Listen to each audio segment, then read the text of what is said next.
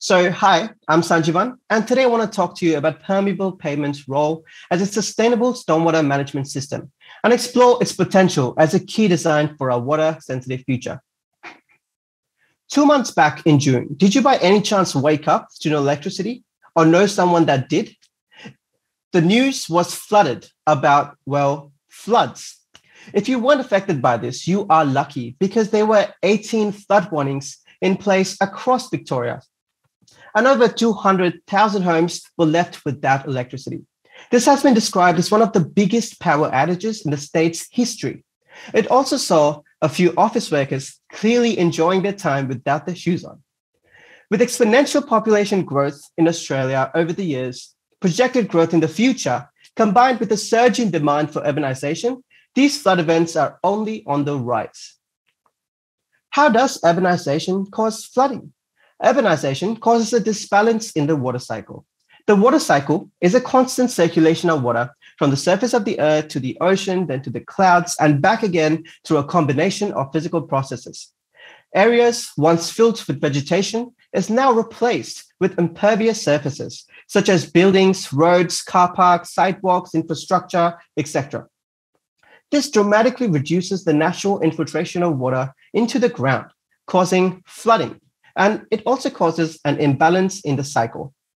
The traditional stormwater drainage system is often overloaded, causing degradation of water quality as this runoff comes in contact with the litter from the drainage, the road chemicals, the fertilizers, etc. So you might ask, what can be done about this? Permeable pavements. Permeable pavements, contrary to traditional pavements, imitate the hydrological characteristics of natural soils. It comprises of a porous surface and various other layers, allowing for natural infiltration and filtration of water to take place. The water is collected in an underlying reservoir, gradually draining out its contents, either percolating to the soil underneath or through a drainage passage. This helps in mitigating potential flood events. Permeable pavement system also plays a major role in improving the runoff water quality.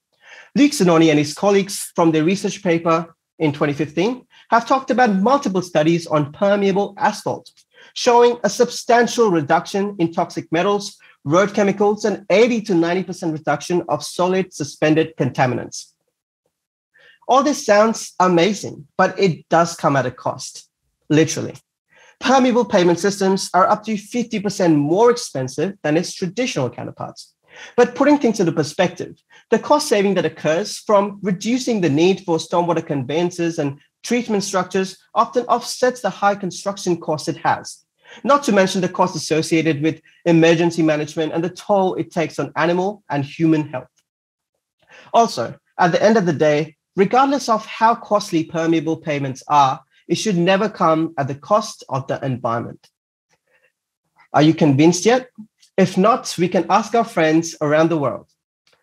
Our neighbors, New Zealand, have been rocking them at, in their car parks at Waitakere, and so is Spain at its Katua University campus.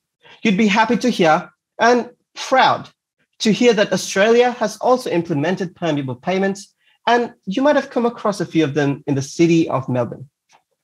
In conclusion, despite its high costs, permeable pavements reduce flooding, they promote sustainability, and is a key design for our water sensitive future.